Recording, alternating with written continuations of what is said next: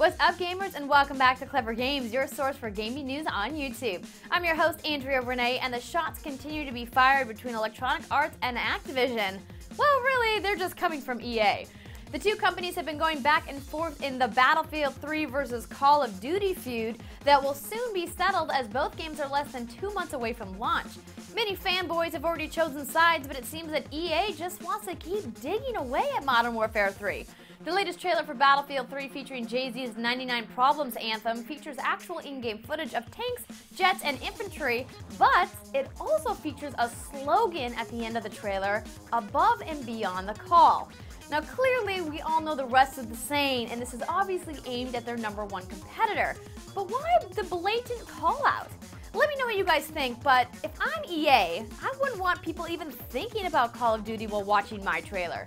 Instead, EA puts the line above and beyond the call, knowing people are going to fill it in with of duty. It's an interesting choice, I think. But I want to hear your guys' thoughts on this. Did you like EA's choice? What about the Jay-Z song they chose? What would you have done differently? Let me know in a comment below, and you can click the link in the story info to watch the full trailer for yourselves. For the latest Call of Duty and Battlefield 3 news, make sure to click subscribe to not miss any updates. I'm Andrea Renee, and thanks for watching Clever Games.